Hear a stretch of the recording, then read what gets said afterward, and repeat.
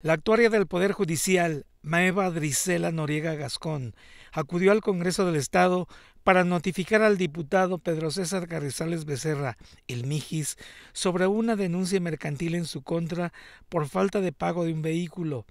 El legislador sin partido debe 120 mil pesos. Esto ocurrió en el Poder Legislativo mientras se desarrollaba en el Pleno la sesión parlamentaria de este jueves.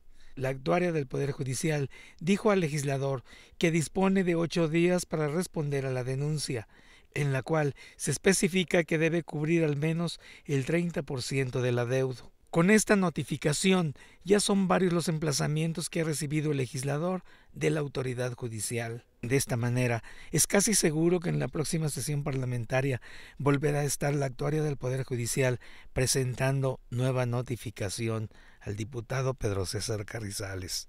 Salvador Covarrubias y José Luis Juárez, Noticieros Canal 7.